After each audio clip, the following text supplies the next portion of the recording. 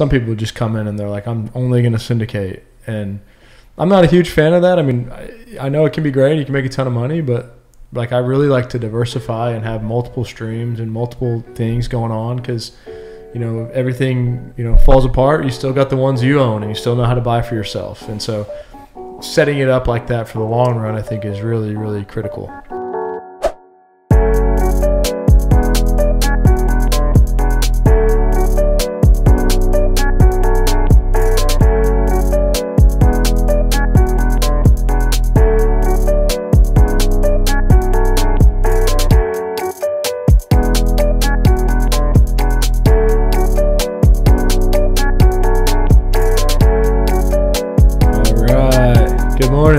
Welcome to the Real Estate Podcast.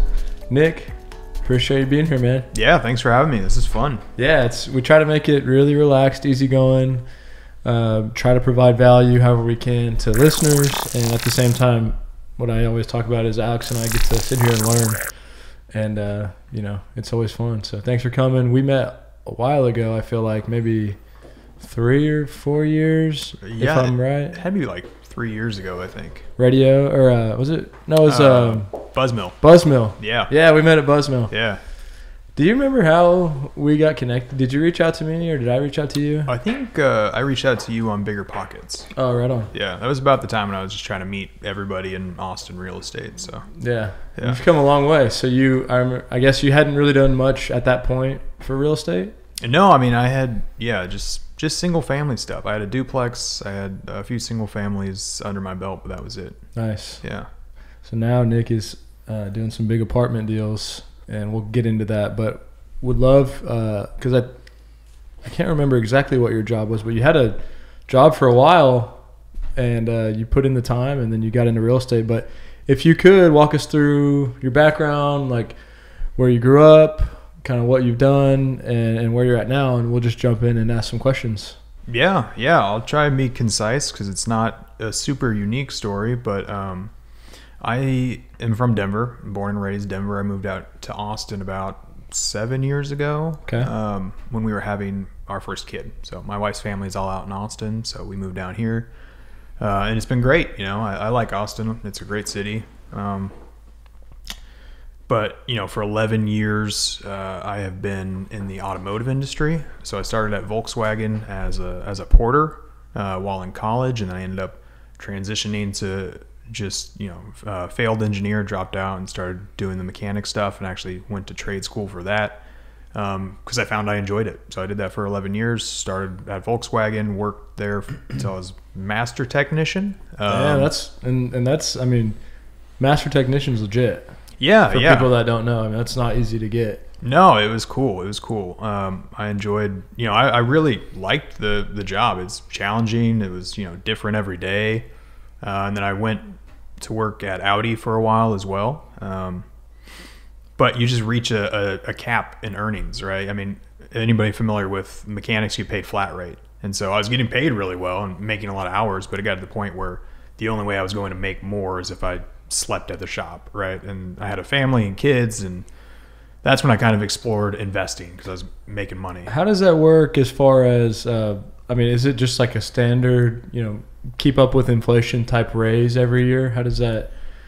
Uh, it depends. So if you're if you're good and you work for a good company, you know they usually recognize that you're doing a lot, um, and so you get raises kind of you know as you progress through the ranks. So at least the way Volkswagen does it, there's like engine specialists, transmission specialists. You need to go to the classes, you know, learn, and then as they see your hours and and your you know your fixed right first times and all your KPIs improving, um, you can start demanding a higher rate. Got it. So for the most part, you're, you know, I don't know, 50, 60 hours a week, busting it, and you felt like there was somewhat of a cap, and you enjoyed it, but you wanted more freedom. Is probably what it was. Yeah, more freedom. Um, you know, at, at that point, I was just trading all my time for money, right? So there's there's no out there. Um, it was do this for 60 years, and then you know it's hard on the body. So uh, by the time you retire, it's like you're you know you're decrepit and you just kind of sit in the corner, I guess, until you die. So Yeah. I, I didn't want that. Right. That's a hard job. It's a good skill though. Yeah, no, I, I, like I said, it was fun. I, Yeah. I enjoyed it. So fast forward, you're syndicating larger apartment deals. You've done I don't know five deals, however many deals. Um, would love to kind of hear how did you get? I mean, you jumped right into syndicating, right? Like, uh, is that correct? Uh, kind of. Uh, so, like I said, I had I uh, had some single family stuff under my belt, um, and then I had done a 12 unit with some people in Mm. Atlanta. Okay. Um, then I bought the Austin deals, and that was actually just me and my partner uh, in that structure. So syndicating came later. Mm. Okay. The deal we're doing right now, that's a syndication. What uh what attracted you to more units? Um, you know, I got to a point where I was realized I liked real estate. You know, I liked at first it was just a vehicle, and then the more I did it, I was like, this is fun. How do I do this full time? And so I was kind of looking at what we were doing, which was buying, you know, a single family home or two single family home rentals every year, and realized it would take me forever to get to the point where I could do this full time. Um, and then also it, it, it just came down to an effort thing, you know, especially in Austin at the time. Um, it was hard to find single family rent, even duplex deals that made any sort of sense, you know, unless you're just neutral or even paying, you know, extra or putting down like 50% or whatever you had to do to make it work. But, um, and so as I looked at the time and effort it would go into to finding a good deal and then, you know, finding more deals so we can grow a little faster, is like, I'm going to put all this effort in to close a few more single families. It just didn't make sense. So that's kind of when it got back to like, well, why don't I look at larger units? What was that process uh, as far as just like learning? Because it was all you didn't have a great understanding at that point, right? It was all brand new. Yeah, yeah, super brand new. Um, I'd been listening to BiggerPockets for years, so I'd probably listened to their podcast. Um, 2014 is when I started listening to them, and then, you know, I've probably read you know all the books everybody reads on real estate and business, and um, so I had a primer and I had an idea. But when it got down to like, okay, where do I actually go from here? Like, what's the first step, right? Like, everybody gets the concepts of real estate, like you know, buy low, fix it up, sell high, you know, and then in between there's a bunch of how, right? Um, and so I had to reach out to. Uh, I, I joined a mentorship group because I was just like, I, you know, I get the concept. I just need the the nuts and bolts. Mm-hmm. And that was, was that the Jake and Gino? deal? Yeah, that was Jake and Okay. Gino. And at that point, had you already bought the couple deals that were pretty much the ones that you owned, the smaller ones? Uh, no, so at that point it was just you know I just had the single families and duplexes under my belt. Okay. Yeah. Nice. Yeah, man. So tell us if you can, because it's super exciting. Like what what you've accom- like what you've bought and accomplished, and because I don't, I actually don't know. I know I think one of the deals, but I, I think you've done more. But can you tell us like like uh, when you close it, total units, and like where you're at now? Yeah. Um, so you know, moving from single family to larger stuff, the first deal I closed was a, a 12 unit, uh, and that was in Atlanta. Okay. uh, and that was with just a bunch uh, of people, uh, like a joint venture kind of thing. I'm actually a smaller part of that because it's in Atlanta. I couldn't really offer too much value there, but it was a it was a good experience. Did you find that one? No, What No, did what did you like? What what value did you bring uh, to that? Like, why were you part of that? Were you was it capital or the underwriting? Like, what got you there? yeah, part of it was capital. Um, you know, I contributed some capital to it. Uh, some of the due diligence stuff, you know, we all help out on asset management stuff because it's you know four or five of us in a 12 unit, so we we spread it out as thinly as we can. But at the end of the day, that's a lot of people in a deal Right. um, that small. Yeah. Uh, but it was good. It was a learning experience. You know, Yeah. and it kind of got me, got my feet wet and got started. So you got a local property manager. Yeah. You and three other partners, and y'all just have that as a long term hold Yep. for the most part. Yep. Cool.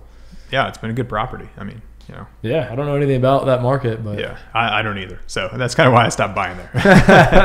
well, Yeah. 12 units sounds great though. yeah, yeah. No, I mean, like you got to trust your partners in that respect. So I, Mhm. you know, I did, and it worked out well. But, um, and then you know, while we were closing that one, is when I was looking really heavily in Austin. Uh, that's about the time we met, actually, uh, a little bit before that, but.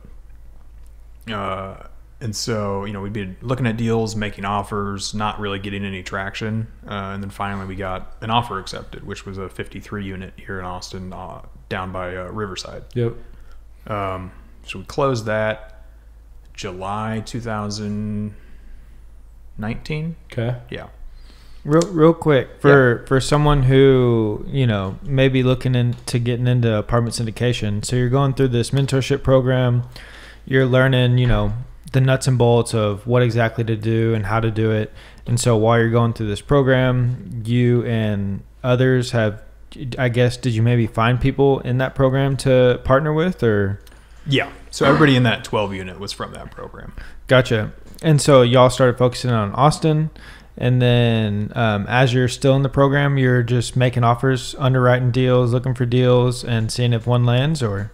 Yeah, pretty much. I mean, we had our range that we were looking at. You know, it was, it was basically like 20 to 100 uh, in Austin, um, and so anything that really popped up in that in that range or that was brought to us, you know, we were touring, underwriting, and seeing if we could make it work. You know, if it fit what we were looking for. And are you full time uh, mechanic still at this point? Or? Yes. Gotcha. Yeah. So uh, walk in properties on Saturday and Sunday, or Yeah, I mean, you know, go on your lunch break. Uh, you know, we got a day off during the week if we worked on Saturdays, so I worked a lot of Saturdays to kind of and put all my tours on, you know, like a like a Wednesday. I mean, you be as flexible as you can. right? Yeah. Sweet. So, um, all right. So y'all found the a 53 unit deal near Mhm. Riverside, Yeah. and what? When was this? Uh, we found this. I mean, it was earlier 2019. Uh, about a s I think we ended up doing a 75 day close. So closed in July. A few months before that. Nice. Yeah. And go ahead. I'm just thinking about uh, you know buying real estate in Austin, especially on Riverside. Mm-hmm. Was did you feel like? I mean, I know you analyzed it, but did you feel a little nervous? Like, I'm sure you didn't get it at a steal. I'm sure you got a good deal, but like, you're like, man, we're this is this is the big leagues now. We're kind of stretching for something. Is that? Oh kinda- yeah, yeah, yeah, I was super nervous. What was just so people understand, like when you say underwriting, uh, and you don't have to go through all of it, but like um, kind of a quick kind of you know one through five or whatever it is. What does that look like? How do you start the process of underwriting? Do you start after you identified a property that you're really interested in, and, and can you walk us through the basics of that?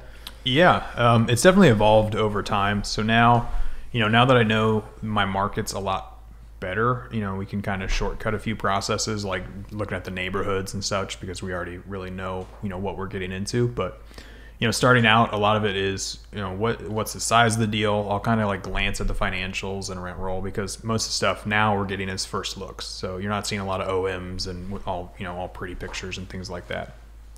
You're saying most of the deals you're looking at now are the brokers calling you before other people have looked at it. Is that right? Yeah, and I, and they're not really calling me. I don't know if it hit that level yet. I'm just reaching out, and now they at least know I can close. So we're getting some first looks before they've like put everything together. Got it. But it's all on us to follow up. It's not like they're calling me saying, "Hey, I got this sweet deal." Are they like? Um, do you feel like they're testing the waters, or if you were pretty serious, they they let you make a run at the deal? Yeah, they definitely let us make a run. I mean, we bought uh, the second deal that way, Okay. um, and the third deal actually uh, we got a first look at as well. Uh, some of the time, though, I would say the bulk of the time when you get those first looks are when they don't have the exclusive yet. Uh, it's a lot of testing the water, Mm-hmm. Right. and, it's you know sometimes it's time waste, but you got to Sure. you got to take the shot. Yeah. So understand the neighborhoods, understand the general market. Yeah. Yeah, we're looking at crime, um, you know, first because we don't want to buy a property that has high crime. Uh, it's just a headache that we don't want to deal with. Um, and then, you know, there's other things go wrong, like insurance and things like that. Um, when it gets to the actual underwriting of the, you know, looking through the financials and stuff, I mean, that's a pretty in-depth process. Yeah, and I've seen his, I've seen your underwriting, and it's amazing because I did that in in uh, A and M, Mm. but like I'd never really messed with that outside of that, and it is super detailed, and Yeah. there's a lot. You got to see some of these spreadsheets. I I think you have a deal right now, right? yeah, Um, so maybe you can look at that, but yeah, it's a lot. I mean, that's in my opinion, like where the the biggest value comes from, kind of what you're doing. yeah. The way I view it. Yeah, I think you know people think underwriting like oh I put the numbers into the spreadsheet and I looked at some rent comps and apartments.com and then we're good to go. You know, we know what we can do, but it's in my opinion it's way more involved than that. You really got to like go shop all those rent comps, see what they're getting, you know, compare it to the ones that you're looking at. Um, you you know, you're building this huge document uh, this huge business plan. I mean, you're you got to be as detailed as you can be, and you know, realize on day two a lot of that flies out the window, but you still want to have your plan in place. You know. Oh, after day after you close. Yeah, after you close, a lot of a lot of your assumptions change. What would you But- say, like when you put a full, you know, underwriting packet together? Uh, how much time would you say that that you've probably put into that? if I get to the point where I feel like, hey, this is a deal I want to buy, um, and you know, or at least it looks interesting, right? I've done my initial underwriting, which now takes about 20, 30 minutes just to see, okay, I think we can be competitive on it, and we've toured the property and we like what we saw, and we're making offers. You know, we're getting to the making offers stage. Um, I, you know, it it can be a really in depth project depending on how you know by the book it is. Are you Um, doing the majority of your underwriting uh, after you put under contract or before? No, definitely before. But Definitely I mean, are you saying? I mean, the way I perceive it, you probably got 30 hours into that uh, underwriting. Is that accurate? Um, it's pretty close. Yeah, uh, I would say initial underwriting. You know, twenty minutes to an hour. Uh, by the time we're making offers, we've probably put five or six hours into it, and as we're closing, you know, we're putting way more Right. uh, due diligence into the to the underwriting. But you know, we're not really fluctuating. At that point, we kind of have our price, and Yeah. we know like what we can do. Now it's just really drilling it as specific as we can. Yeah, I mean, it's it's and what's interesting to me is it's just a lot of work because at least um, some of the people I know that are doing these deals, they get the call for offers, Mhm. and it's like you you got to just go out there and be competitive with all these other people, knowing there's a small chance you're going to get it, but you have a massive amount of time and commitment up front. But that's part of the game. Yeah, I mean, it's it's it's a lot of time. I wouldn't say time wasting because you learn something on every deal and you improve your process. But I mean, our, the last deal we closed in Austin was 2019 December, and so we had a few going into the pandemic that fell out because you know it was like March and April when they were I remember you talking about that. Yeah. yeah. Um, but between you know March and and now the, the deal we have under contract, I mean there was a bunch of no's. You know, a bunch of time spent underwriting and touring, and it's just couldn't. You know, prices are going one way and rents are going the other way. So it's, it's been an interesting market. Yeah, and uh, the, I guess are you looking only in Austin? Or are you looking everywhere? Um, pretty much only in Austin. Now we've expanded, you know, a little bit. We've looked um, pretty much the whole MSA, and we're starting to get a little more southern into like San Antonio, um, New Braunfels area. And it becomes pretty small market, right? Like you probably probably know most of the multifamily brokers yeah. at this point. And is are you doing a lot of um, off market like deals that brokers don't have that you're you're cold calling or sending mailers anything like that? No, we haven't really done too much of that. Mm-hmm. Um, it's just you know, fr- from our standpoint, it's been a much more effective use of time to leverage the brokers' relationships with all these sellers. Sure. Um, especially because in the size we're looking at, it's usually a more sophisticated seller. Um, you know, it might still be like mom and pop, but they know like, hey, I'm gonna do it like a marketing on this because that's how I'm gonna get the best price. You know, we Mhm. haven't found too much opportunity in, in the off market. We've had you know off market deals brought to us from brokers, but that's you know Right. not the same. fascinating what brokers know. Like Mhm. they always have all these owners that they know and stuff in their back pockets, and you talk to the right ones, and they know a lot. Mm-hmm. Um, so you did the was it 53 on Yeah. Riverside? What came next? Yeah, as we were closing the 53, um, we were kind of looking at management and trying to figure out how we were going to run it. And one Mhm. thing we realized is, hey, we need to find another property nearby, you know, as soon as possible to consolidate management so we can have a full time manager and a full time maintenance tech on those two properties. Um, and so we were looking, and this is the off market one, it was brought to us by uh, a broker out here in Austin, and it was a 71 unit. Mhm. And so we we started, you know, we went under contract on that before we closed the 53, and we ended up closing that one uh, October 31st, actually, I think 2019. Okay, and then that gave you that efficiency of having them together. Yeah, yeah, that helped a ton. What returns are y'all looking for for uh, apartments here in Austin? Yeah, so it definitely depends uh, on how we're gonna take it down, right? If it's just me and my partner, uh, we're way more flexible uh, on what we're looking for, and you know our exit strategies and how much we're gonna put into it on the front end. Um, if we're looking at it from a syndication, that's a different standpoint. I mean, typically we're looking at five to seven year holds. We want to hit you know a two x equity multiple in that time. If it's uh, you know Mark and myself, we're personally not too concerned about cash flow, you know, like huge amounts of cash flow, because we're usually reinvesting that back into the property to lower our equity on the front end. Uh, you can't do that in syndications. That's a hard model to sell, so we're raising a little bit more. Um, on that to, to fund the renovations. So, you know, we're looking at average cash on cash over seven years, I would say six to 7%. Uh, that's not the biggest driver of growth in this market, right? It's all the value add. So, Right. That, that's what I was curious about. So about six seven percent cash on cash return. Um, and when y'all are buying these properties, typically are they cash flowing day one, or when do y'all? Yeah. yeah, yeah, I, I, I don't yet have the stomach to buy anything that doesn't cash flow day one. Right. uh, I, I'm not too concerned. You know, the difference between like you know four and six percent day one to me. Uh, you know, I mean, we're looking at it at a non I you know interest only basis because we want to you know we're going to come out of that. Uh, but still, it, it's more important to have consistent cash flows than you know for like for the returns we're looking for than super strong cash flows in this market. Right.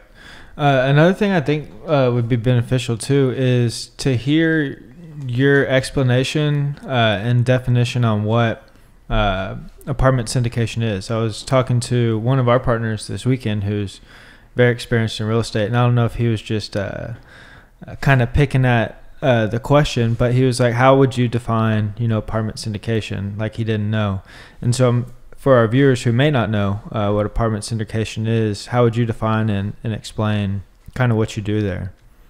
Yeah, I think the way, and I'm obviously not an attorney or anything like that, so take everything I say with a grain of salt. But um, when I think of apartment syndication, I think it's you know, uh, you have active sponsors, people running the deal, and then you have people investing in it that you know you have no expectation that they are going to be involved in the day to day to day operations or choices that are being made. Um, you know, they're passive, usually silent investors. Um, I know, like, there's definitely things in, in the real estate world where that exists that's not a, a syndication, uh, but probably technically is. You know, if you look at it from the the Howey test method, um, but it's you know, uh, I guess that's the best way to describe it. And so you're putting these deals together, you're raising money, and then uh, you are you and your partners are the GPs, Correct. general partners, and y'all are the ones running the operations, making the decisions, distributing cash flow, uh, you know, taking on the debt.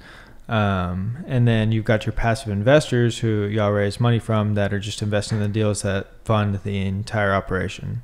Correct. Right.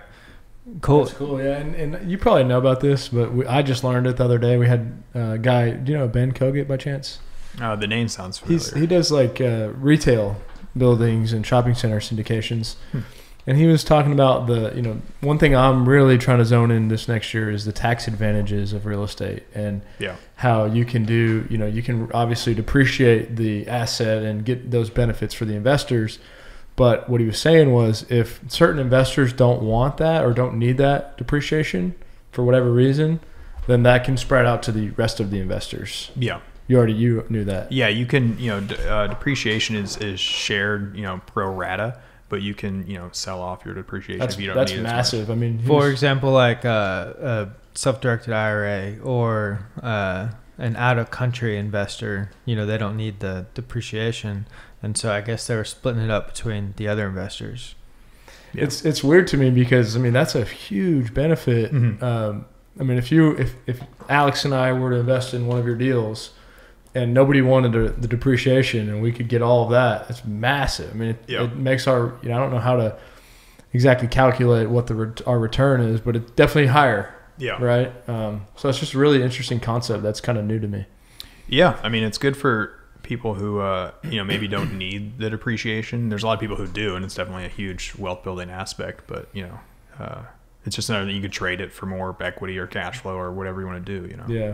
So I mean, you've uh, you've come a long way. Um, you know, mindset wise, like, were you kind of are you kind of surprised at at what how things have turned out? Um, did the real estate industry obviously it's been good to you, but uh, and I know you put in a lot of work, but has it kind of shocked you at, at how far you've come? Because I feel like very few people have done that that quickly. Oh yeah, definitely. Um, I I think uh, you know I've been blessed with the people I've met and the partners that I have, which have definitely helped kind of accelerate the growth. Mhm. Um, All about the people, right? yeah, a hundred percent, a hundred percent. And I'm not a strong you know people person, not a great networker, but I I tell that to everybody who's getting started is like you got to meet you know talk to everybody you can, Well, you did it. I mean, you yeah, you met you reached out to me, which is rare because I'm usually the one reaching out. yeah, but but that yeah. it seemed like that's what you were doing is Mhm. um, making your rounds, getting your name out there. Yeah, I mean that's that's what you got to do, uh, in my opinion, especially in a in a if you're getting into like multifamily because it is it's a team sport. You know, you got to have people on your team.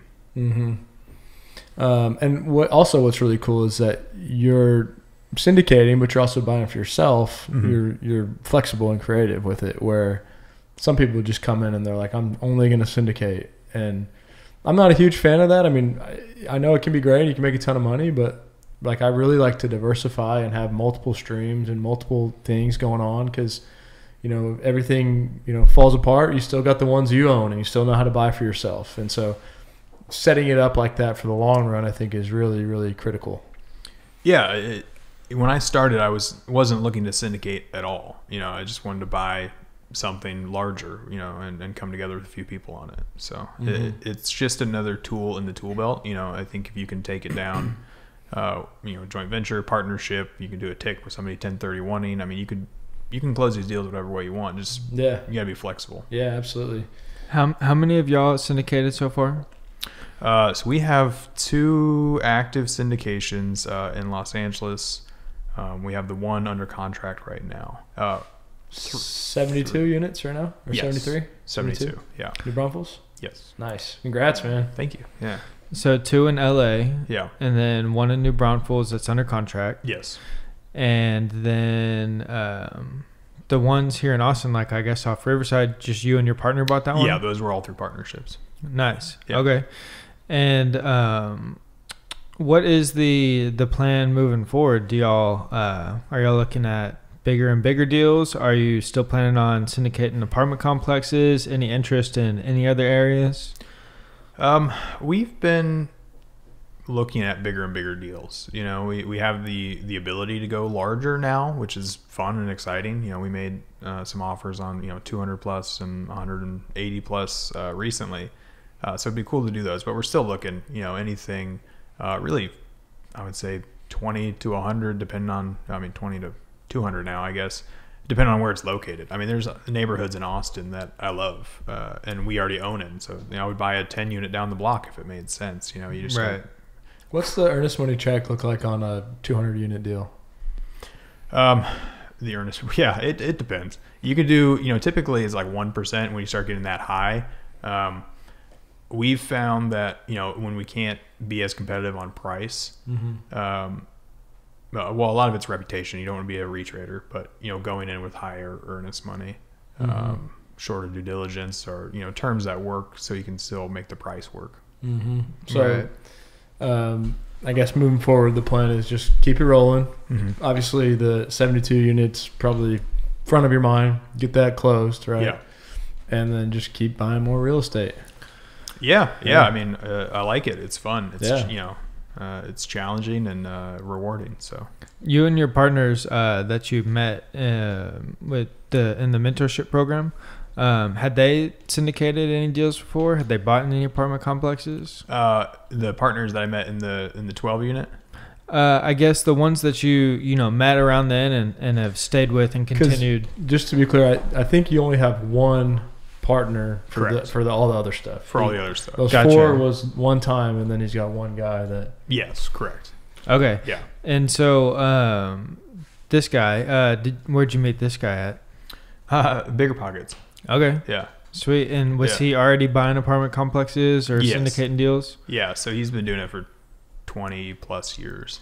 Gotcha. Okay. Yeah. Uh, my question was going to be is, you know, uh, since getting started, have y'all kind of dialed in the systems now to where, you know, y'all can uh, just start, you know, analyzing deals as frequently as possible. And as soon as you get one, uh, it's just a, a systems procedure moving forward and y'all can go on to the next one. And are they kind of dialed in? Or y'all still working through things or?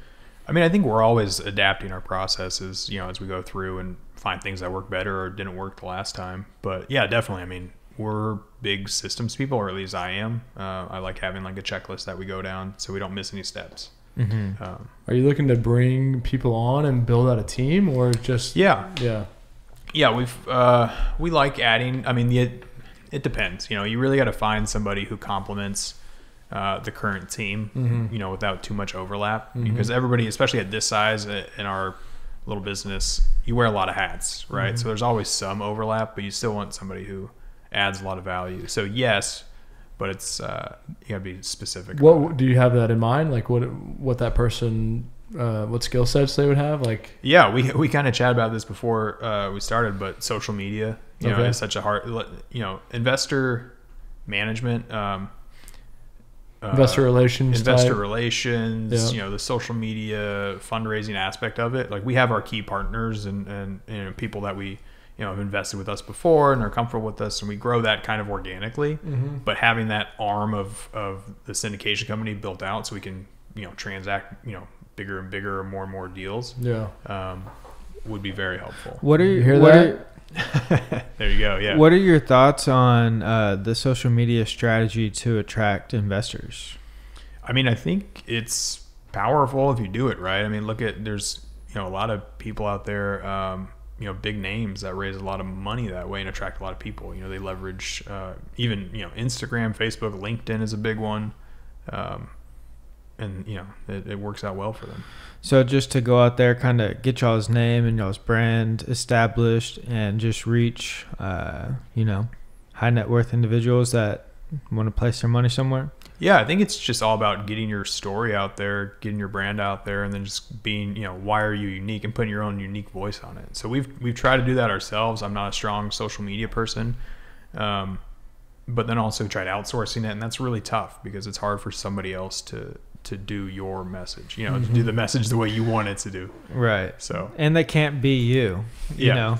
yeah, exactly. Well, what's also, but what's cool about it, and I think you, you know, you have the foundation. Like the social media is the uh, the appeal, right? But you have the the building blocks, and and you can go figure that out. And then once you do, you start getting it out there. It becomes a really small world.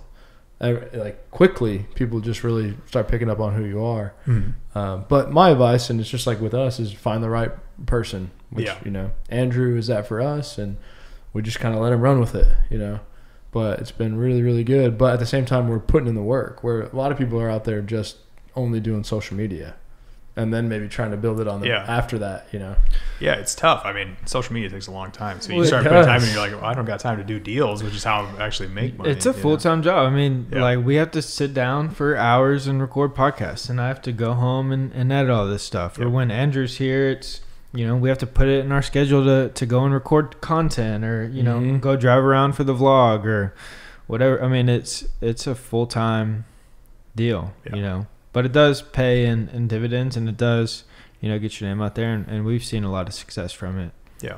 Yeah, we have a podcast that's been going for a little while now, uh, and it's just finally people are starting to be like, "Oh, I listened to your episode," you know, about ten. I'm like, "Oh, that's cool. Someone's actually listening," you know. But yeah, that took a ton of time. What's your podcast called? Uh, the Wild West Real Estate Show, Wild West Real Estate Show. And Yeah. where where can people find it at? uh, everywhere. I mean, iTunes, Stitcher, uh, any anywhere you consume podcasts, it's there. Do you do the distribution of that, or do you have somebody who uploads it to all those platforms? Oh platforms? no, that's me. Yeah, what do you use to get it on all those platforms? uh, Libsyn.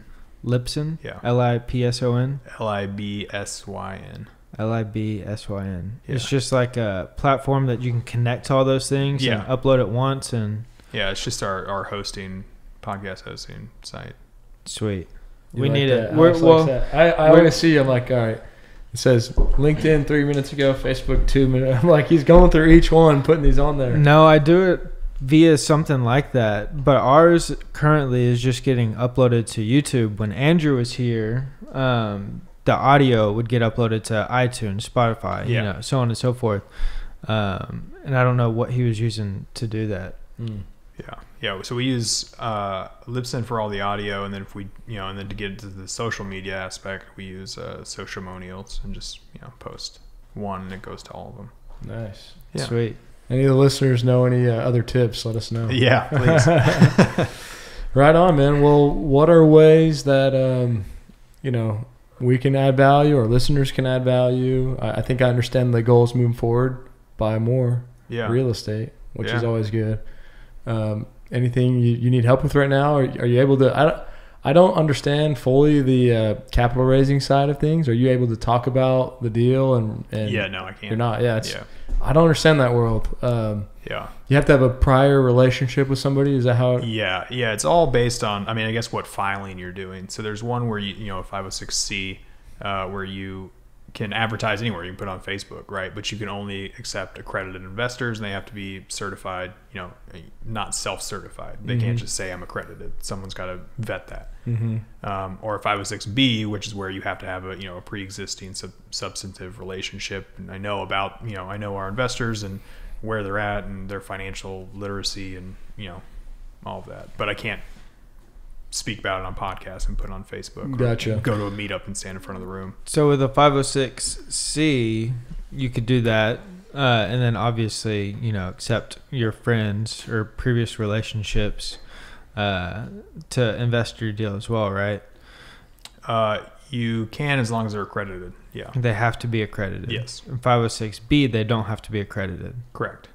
Gotcha. And so that's why y'all go the B route.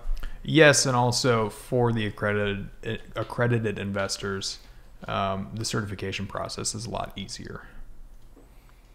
Nice. What was the? Uh, so you got a PPM, right? That Yeah. Once somebody's interested, you send that to them. Yep. My understanding that you get an attorney and it's 15, 20 grand to put all that together. Is that Yeah. accurate? yeah, they draw up all your subscription docs and go through your business plan and you know make sure everything's spelled out for your investors. They know you know what happens if this happens. You know what happens if the sponsor gets hit by a bus, who takes you know that kind Mhm. of stuff because you want to know what happen. You know the scenarios. Yeah. Well, and just so everyone's clear, uh, buying it is always probably the easy part, and then running it and managing it and Yeah. operating it is where the work comes in, right? Oh, 100 percent. Yeah, And, and you're using third party management, but you're doing asset management, correct. basically overseeing the property manager. Yes. Yeah. Right on.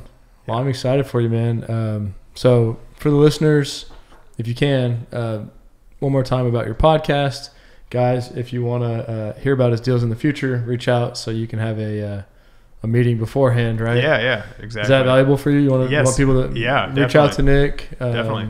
Great guy and doing some cool deals. Uh, but yeah, what are ways people can get a hold of you and anything else you want to talk about? Please lay it out. Yeah, sure. So the podcast, um, you know, it's the Wild West Real Estate Show. Uh, we've actually had you know Matt on there, so definitely check that episode out. But we've got, we've had some other big name guests as well. Um, easiest way to get in contact with me, it's just you know my name Nick N I C K at quantumcapitalinc.com. QuantumCapitalInc.com. which, which is our website. You know, you can hear all about our, our past deals. You know, look at you know register to talk and see any of our upcoming stuff, and uh, we also host the podcast there as well. So You were doing a meetup, right? yes, And yeah. Off because of the pandemic. So we did transition. If you're, you know, if you're on Facebook, we uh, it's the the South Texas Multifamily and More Group. We Mhm. kind of rolled our meetup into that um, around March, Mm-hmm. uh, and then everything went virtual. So we're still doing virtual meetups. Oh, cool. Uh, but we haven't gone back to the in-person one yet. What is the like format for that? What is that like for someone that joins? Yeah, so it's actually kind of cool. You know, eh, we can bring in speakers from all over the country now because it's virtual. So we'll bring in, you know, I think uh, coming up we're doing one with uh, uh, somebody who's uh, skilled with DSTs. You know, the Delaware Statutory Trust. yeah, yeah. Um, and then you know they'll present, they'll answer some questions. Then we go into breakout rooms, so you still kind of get that networking aspect. Oh, really? You can Yeah. break it out on Zoom? Yeah, yeah, you can, and you just kind of randomize it and do it a couple of times. So. That's cool. I've always wondered how that would work with online networking events. Yeah. Is like you just like, you know, poke Matt like, hey, let's go talk in a separate chat or something. Yeah, I don't know if like individuals can do it. I haven't seen that, but like we'll, you know, say, hey, you know, now we'll do breakout rooms, and you can set the size and just everybody. we should do that up. with our uh, because we do four calls a week with our brokerage. We should maybe consider doing that and like have people branch off into groups and talk about what's working. Yeah. What do y'all use Zoom? Yeah, Zoom, and it's nice because especially on like webinars and meetups and stuff. I don't know about you guys, but uh, people are go to so many now that like getting people to a virtual meetup is tough anyways. But then they get there and it's like you know the camera's off and you don't even know if they're listening or you know Mm-hmm. you know, making dinner in the back. So it, it kind of gets people more involved and brings back the networking aspect, which is Nice. nice. Yeah, we should try that. Always learning, man. There you go. Yeah. Well, thank you. Uh, you know, we'll support you any way we can. You guys, reach out to Nick, and uh, I'm super excited. Probably gonna own ten thousand units pretty soon. Thanks for having me, guys. This Yeah, man. fun. Thank you for coming. Yeah, of course.